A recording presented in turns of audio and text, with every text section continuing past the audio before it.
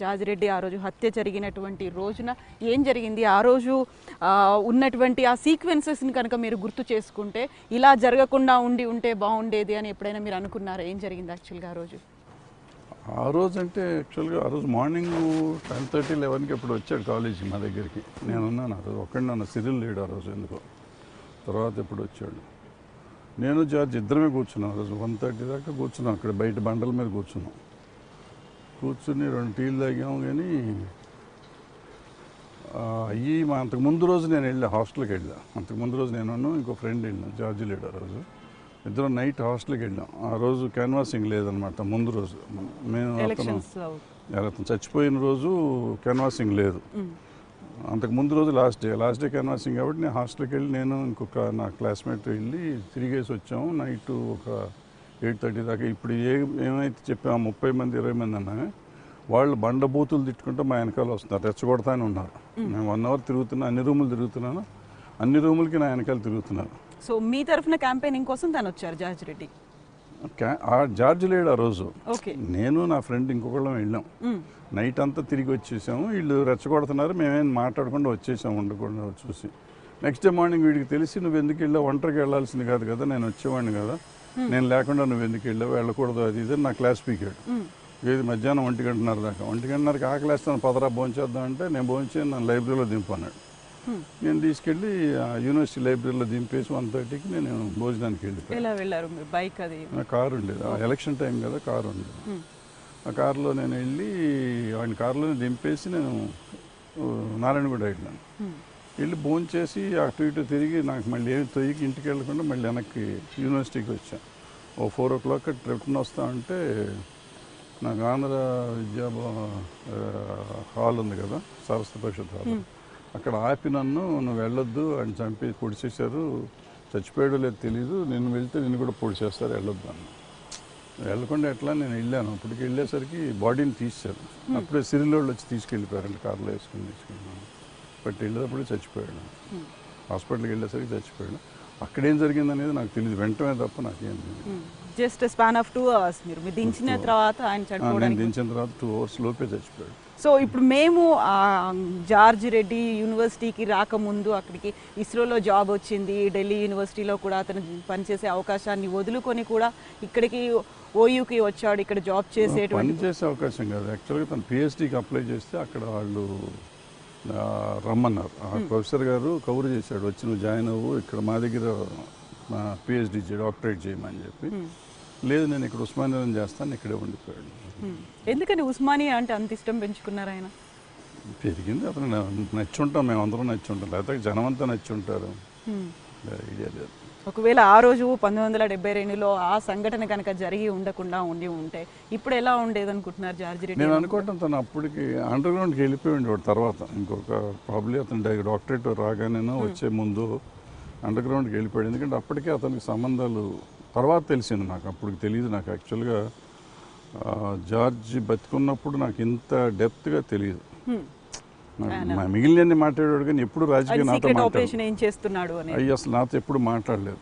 వాళ్ళు వాళ్ళు ఏం చేసుకున్నారో నాకు తెలియదు కానీ నాతో ఎప్పుడు మాట్లాడలేదు. నాకు తెలియని కూడా తెలియదు. తర్వాత మా ఫ్రెండ్స్ కొలీగ్స్ అంతా కలిసినప్పుడు మాట్లాడుకుంటాను చచ్చిపోయినాక మాట్లాడుతున్నప్పుడు ఇవన్నీ తెలిసినాయి మళ్ళీ సో బట్ అప్పుడు తెలిసిన దాని ప్రకారం వాళ్ళ అండర్ గ్రౌండ్ నక్సలైట్లతో కాంటాక్ట్స్ ఉండేవి. వెళ్ళిపోయినా వెళ్ళిపోయి ఉండేవాడు మూడొంతులు వెళ్ళేవాడు ఎందుకంటే ఆ చేకువేర అంటే అంత పెద్ద పిచ్చి ఫ్యాన్ వాడు. సో ఏదో ఒక మార్పు తీసుకురావాలి అది దీంతోనే సాధ్యం అనుకునేవాడు ప్రతిసారి. అంతే ఆటోమేటిక్గా యుద్ధం తప్ప రక్తానికి రక్తంతోనే మార్పు అనుకునే మనుషులు కదా. కరెక్ట్గా అదే టైంలో తెలంగాణ తొలి దశ తెలంగాణ మూమెంట్ అనేది చాలా పీక్ స్టేజ్లో ఉంది. అరవై తొమ్మిది డెబ్బై అదే దశలో దశకంలో ఉంది. అటువైపు వెళ్ళాలి అనే ఆలోచన కానీ దానికి సంబంధించినటువంటి చర్చలు కానీ ఏ రోజు ఎప్పుడు రాలేదు? లేదు, లేదు. ఆయన మరణం తర్వాత ఒక సంఘర్షణ కావచ్చు లేకపోతే ఆ ఒక బాధ ఒక ఎమోషన్ వీటన్నిటినీ ఆ నేపథ్యాన్నే అలజడి అనే మూవీలో చూపించారని మేము అనుకోవచ్చు అంటారా నేపథ్యం కాదు నిజం అదే. నేను యాక్చువల్గా జార్జిని చంపేసినాకైతే ఆ రోజు నాకు నిజంగా ఎవరిని కనపడితే నరికేద్దాం అన్నంత కోపం వచ్చింది. బట్ ఆ తర్వాత వేరే సంగతులు నాకు ఎవరు కనపడలా. మా వాళ్ళు ఎవళ్ళైతే ఈ మాతో పాటు ఉండేవారో మేము నలుగురు ఐదుగురు ఉండేవాళ్ళం. రెగ్యులర్గా నేను మైపాల్ రెడ్డి సిరిల్ రెడ్డి జార్జి నారాయణ రాజు రాజయ్య ఐదుగురు ఆరుగురు కంపల్సరీగా రోజు కలిసేవాళ్ళం రోజు ఉండేవాళ్ళం. సో వాళ్ళు ఎవరిలో కనపడలే. ఏమయ్యారో తెలియదు. సిరిలు వెళ్ళిపోయాడు. సిరిలు ఇది అయిపోయినాక ఆయన ఎక్కడికో తీసుకెళ్ళిపోయారు.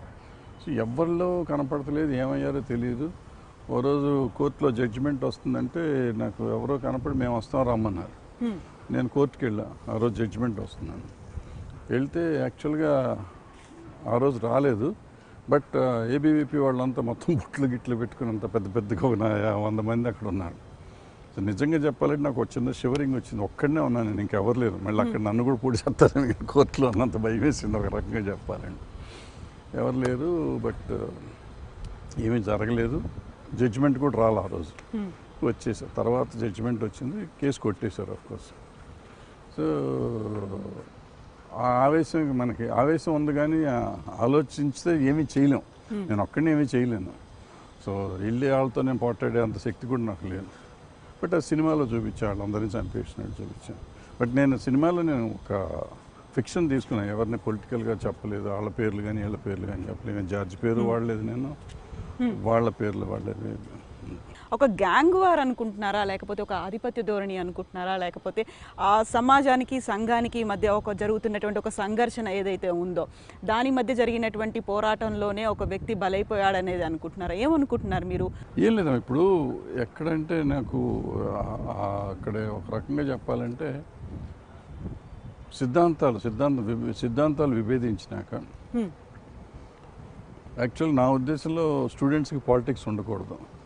బట్ స్టూడెంట్స్ని పాలిటిక్స్లోకి తీసుకొచ్చినాయి పొలిటికల్ పార్టీస్ ఎవరైనా ఈవెన్ కమ్యూనిస్టులు అనుకోండి బీజేపీ వాళ్ళు అనుకోండి కాంగ్రెస్ వాళ్ళు అనుకోండి ఏ పార్టీలైనా కానీ they have got their own wings student wings నేను స్టూడెంట్ ఫెడరేషన్లో ఉన్నా అంటే కమ్యూనిస్ట్ పార్టీ వాళ్ళ వింగ్ ఇప్పుడు వాళ్ళంతా సూర్దాస్ రెడ్డి గారు నారాయణ దాస్ వీళ్ళంతా బీజే ఏబీవీపీ ఏబీవీపీలో. ఉండేవారు. సో వెంకటేశ్వరరావు గారు శ్రీధర్ రెడ్డి వాళ్ళందరూ పుల్లారెడ్డి వాళ్ళంతా ఎన్ఎస్యూలో ఉండేవారు. కాంగ్రెస్ వింగ్లో ఉండేవారు హనుమ ఈవెన్ హనుమంత్ రెడ్డి ఇటు అటు ఉండేవాడు. సో ఇట్లా రకరకాలుగా ఉండేవాళ్ళు. సో ఫైనల్గా వచ్చేటప్పటికి ఏమైంది? అది నా ఉద్దేశంలో ఎవళ్ళు ఈ పొలిటికల్ పార్టీతో సిద్ధం వెళ్ళకూడదని. అందుకే నేను మా స్టూడెంట్ ఫెడరేషన్ మెంబర్గా ఒక్కడిని కూడా చేర్పించలేను యూనివర్సిటీలో. నా నమ్మకం అది.